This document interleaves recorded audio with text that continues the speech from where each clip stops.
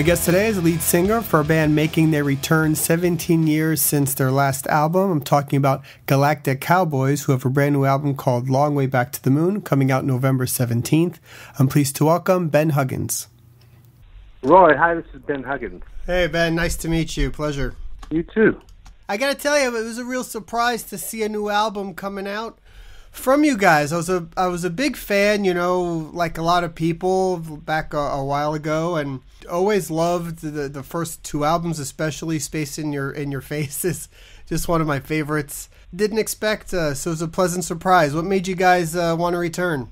Bill Evans, uh, friend of Monty's, and uh, he's been representing us with uh, with Mascot for this whole, you know, the procedure uh, process I know what mm-hmm. I meant to say. uh, he got a hold of Monty probably 2015, something like that, and uh, asked him, you know, if, if he thought that we might want to do it. And I said, I don't know, let me ask him. So he got a hold of us and we were into it. And so the process started, and it took a while to get to the point where um, it looked like anybody was interested. And, and once they did start getting interested, we thought, well, I guess we got to write some songs.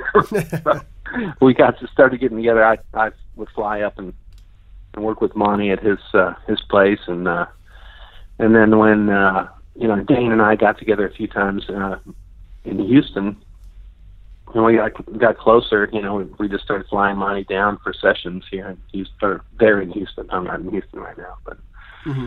So it you know it worked itself out. But uh, yeah, it just it was kind of fell out of the air as far as we're concerned because it was no one really had any plans to do anything, and and Bill just started asking the question, and and once he did, it was you know he opened that that uh, that box up and let everything out. That's awesome. Yeah, Bill is great. Uh, he's a good guy. Um, so you know the the new album, uh, "Long Way Back to the Moon," which comes out November seventeenth on Mascot, it has that sort of a return to that sound of the the first couple of albums. So you know, as the as the band went on into the the albums after the first two, the sound kind of changed. What brought you back to this sort of original sound with the layered harmonies and the and the sort of mm, little bit of progressive influence? You know, I, I think I think that it was just what we did together. You know, and and so because Dane was gone for like four or five albums, he he left after Space in Your Face. He had he had actually been there when we were we were putting uh, Machine Fish together, but left before it was actually, you know, we got the record deal with Metal Blade at that time, and so Wally came in. But uh, I think it's just the it's a natural progression of what we were at that time. I don't know, and I, I think not not including Dane, but I mean Dane's experiences with his band. Uh, uh, he he had the Sonnier brothers, you know, and then uh, Monty doing Crunchy for a while, and and just everything everything that we experienced in between the you know space in your face and and this this album, uh, uh, uh, Long Way Back to the Moon, I think that's just a natural thing because I don't know that any of us went out of our way to go, hey, let's go back and do what we did right. back then because it was just you know wasn't wasn't like an intentional thing or anything like that. When you hear the uh, the first single, in, "Internal Masquerade," which you guys have a video out for now, uh, I mean, that just sounds like you guys right right there. Everything that the heavy riffs and the the the great vocal harmonies. How hard was it to recapture how to do those vocal harmonies, or was that again just something that fell into place pretty quickly? Man, I I know it feels it feels like a long time. It, if I if I think about it in terms of the actual years, it feels like a long time. But when I get in a room with Galactic Cowboys, and it, it just the thing that we do together happens. Right. And so like now now some of it was like the very first song on the album is uh uh, uh, uh in the clouds. And in the clouds is has an interesting uh story behind it. It was the very first song that Galactic Cowboys ever wrote. Right. And, uh, and it just never made an album. So when we when you introduce a new album that may be it. it when you introduce a new album with a song that was the very first song you ever wrote, and then and then it grows from there. I think I think the connection to the past, uh, you know, happens automatically because yeah. it's already it's already kind of embedded by the time you you get through the first song. So, but uh, the uh, the harmonies themselves, it just always happened that way that we are able to stack our harmonies. Uh, um, you know, Alan does does most of the falsetto stuff. I do, you know, I do high stuff too, but most of mine is screaming high stuff.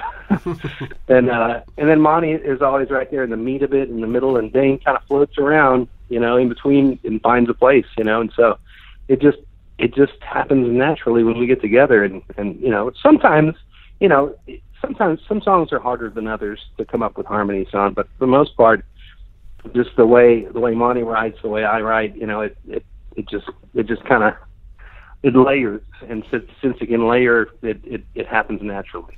Yeah, and they're they're interesting, difficult harmonies for anybody that's not familiar. They're not your standard, you know, somebody take an octave higher type of stuff. So uh, that that was always something interesting to me in the in the music. Another song on the album that's really cool is is a track called Zombies, um, which uh, has a sort of a, little bit. I think intended to be like a ballad, but it it, it, it what's the story behind that lyrically? Because obviously with the title "Zombies," that's got to give it a different spin, right? Well, we when when Monty first wrote it, he had. Well, I mean, he had most everything. I I I just kind of came in and filled it in with a story uh, that kind of supported what he was already thinking, which is it, it, it kind of goes back to the same type of writing style that we did on, uh, on the very very first album. Uh, he he brought in most almost everything for I'm not amused, and, and he goes, I, I don't know, I just want to write a song about how we're not amused. And I said, okay, so we'll just call it I'm not amused. Okay. so, and then we went from there, and and you know I kind of got the feel of the song and and and wrote you know based on you know we're not amused and and the same thing happened with with zombies he's like i want us to write a story about the the last day of the world when when everything's going to hell, but you meet the the right person, and even though you know you don't have any time left, you you know you you're fully invested. You know, I was like, okay, all right, I think I can take that on. on you know, I uh, kind of a love in the ruins sort of thing, and uh, and so that's that's basically what it is. It's like you're you're fighting off zombies, but we kind of tried to tie in a little bit of just you know, not just a regular zombie like you know, uh, like Walking Dead or something like that. But no, it's not. Well, it's not about that, right? Yeah, when you hear the words, it's it doesn't. That's not what it's really about. But uh, no, it's, yeah. it's really funny. No, that's a cool. Well, that's a cool spin take? on it. Let me ask you that. What is your take? Well, that, I, that's that's sort of where where my mind jumped because the lyric is uh, what it all makes sense to me now. I would find you on the last day of the world, something like that, right? Is that that's about right? Right. And uh, right. But then with the title zombies, I was like, well, how did how did those two work together? Uh, so maybe that's they're being chased by zombies, but they found they now they found the other person. So right. that, that was the only where my head went. But um, no, really clever. But but, but the, if you if you look if you look at like the lines about uh, of course now I'm not gonna be not gonna be able to remember, uh, but uh, it's basically uh, walking to the beat of technology. Uh, bowing the knee to the powers that be. Uh, it seems society has a bad disease, apocalypt- apocalyptical uh, psychology. Right. But that, you know, it's just like people are obsessed with, you know, the end of the world. People are obsessed with, you know, everything going to hell in a handbasket. But they're all, it's all because they carry around this this this device in their hand and they're updated second by second on on the worst things that happen right in that second. It may be hundreds of thousands of miles away. It may be, you know, you know what I'm saying, not hundreds of thousands, no, no, totally, maybe totally. thousands of miles away. But but it's like it hit them right there because they got this thing in their hand, and so they're walking around, you know, to the beat of technology, going, "Oh my God, the world's going to end! The world's going to end!" Wait, stop! Put the phone down. You know, walk away from a screen for a second and look around you. People are still going to work. People are still, you know, you know, going out and having a drink. They're going to dinner. You know, they're going to movies. They're they're ha- enjoying life. So put the phone down for a second and enjoy life. That's you're right. No, you but you're right. That's another that's another way the the world is working for sure.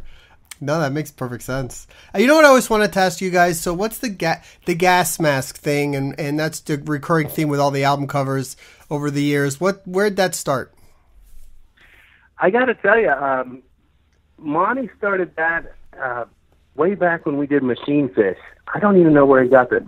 Uh, got the gas gas mask back then, and uh, and I, we all took turns wearing it for pictures and stuff like that. And we had a, a I think it's on inside of uh, like when you pull the disc up, you can see a picture of us, and we're standing. There's a bridge in the background. Monty's got the mask on, and I I, I think he just picked it up as an artistic theme, and and then he I think he actually had a, a series of paintings that he did with uh, a guy he calls Gas Fist, which he would probably be the one to ask about that that particular character. But uh, but it's just been a theme uh, that runs back to like the '90s. So uh, I'm not sure exactly what the, uh, his intention was with that, but I, he's a cool character. So have Uh, you, um, character is really cool. You know, all the guys have been involved in different projects. Have you also been uh, uh, musically into into other stuff in the last, you know, 10, 15 years? I did one project, one project between uh, the end of Galactic Cowboys in 2000 and uh, this release, and it was uh, with uh, with Dane's brother Len Sonnier, and my son was on bass, and and the Sonnier brothers drummer Chad was was on drums, and it was called Gristle, uh, and uh, the the name of the disc was uh, was Cold Blue Sky. It actually never came out on disc; it was all uh, digital, straight to straight to digital. All so. right. Yeah, I never saw But that. it's on it's on Apple, you know, it's on uh, iTunes and on Amazon. But it was more of a departure because I'd never written with anybody. I mean, besides Black Cowboys, so it has a uh, to me it has a totally different feel to it. So back when um, I guess it was I wasn't not sure if it's the first album or, or Space in Your Face, but you were on tour with Dream Theater when they were with their Images and Words album. Is that is that right? Yes, yes. Yeah, I remember that. So the, you guys played at a, a club uh, where I used to live, like down the street from me, and I was actually in high school at the time.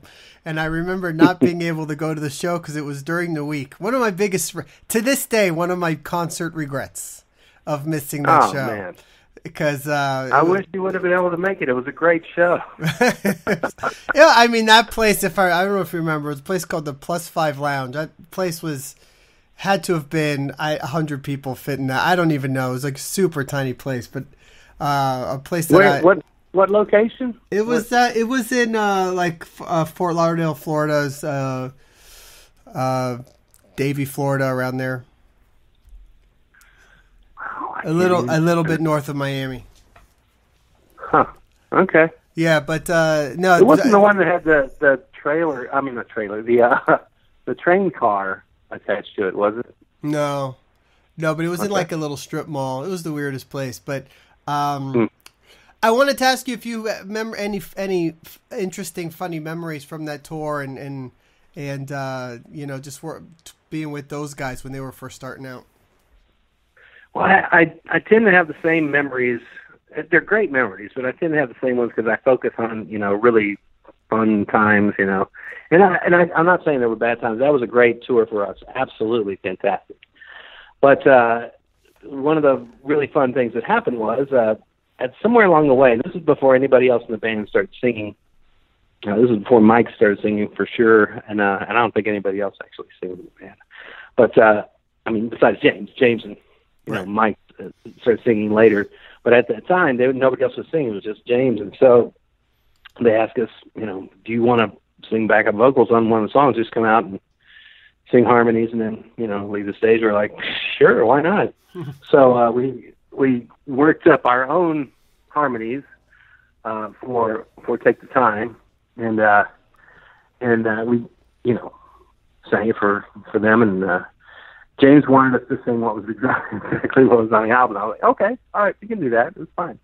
Uh, we've done more of a Beatley thing uh, on it, but uh, anyway, so so you know he he got what he wanted, and we and so we started singing it like that that night, and we'd come rushing on, you know, and cause a havoc, and and then run away, and they you know do the middle section, and we come back and sing the big ending, and Oh, that cool. was it. so that was a lot of fun. But uh, then I, was- the two guys that we hung out with most were Mike and Kevin. Kevin Moore was the old uh, uh, keyboard player, Right. and and Kevin would write these limericks, and every once in a while he'd just slide one across the table to me, and I'd read it and start laughing. and I said, I said one one time, I said, you should you should get up and you should do that during the show. And he goes, Oh no, I couldn't do that. but you could. And I was like, what? I was like, what are you talking about? He goes, he goes, hey guys, I, I want to have Ben come out and read a limerick. I'm like, yeah, okay. So, so every night from that night out, uh, or every new city, he'd he'd, he'd uh, write a limerick.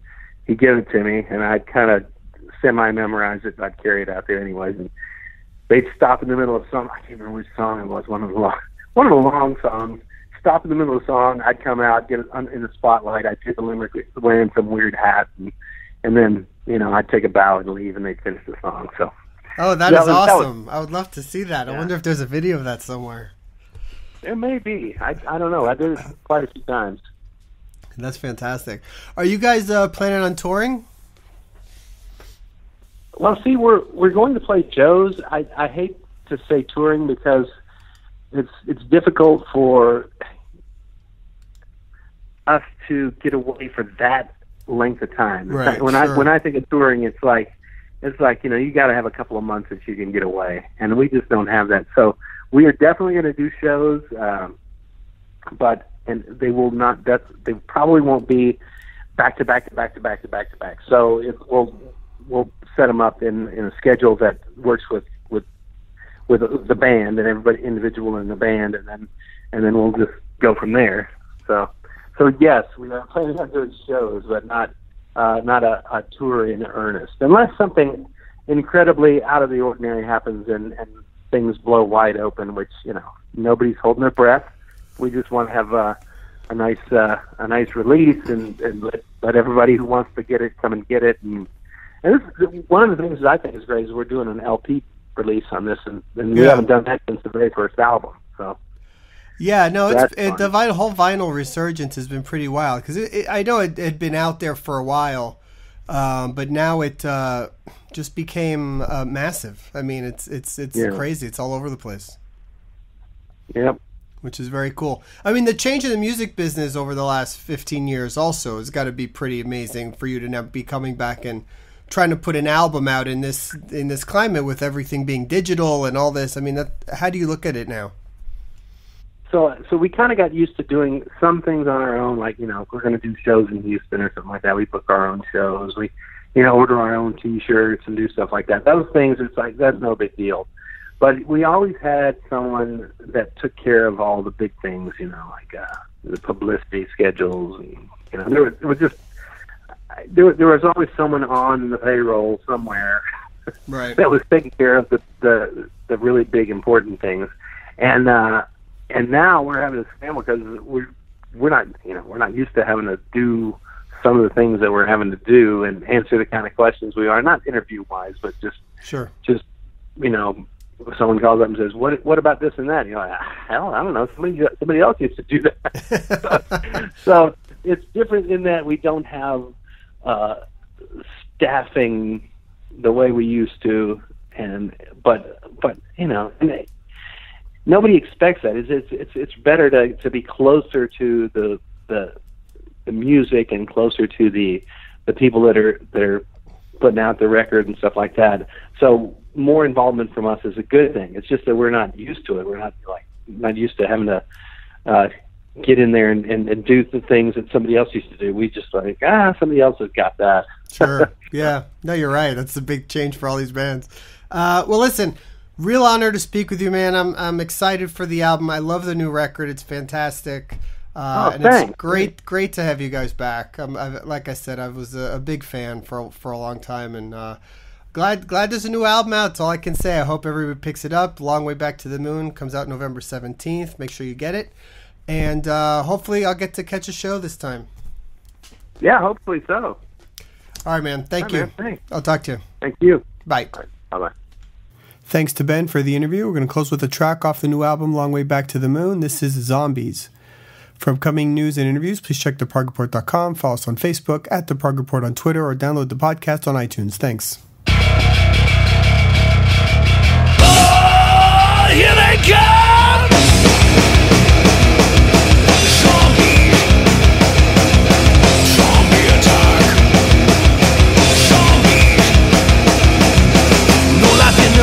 I was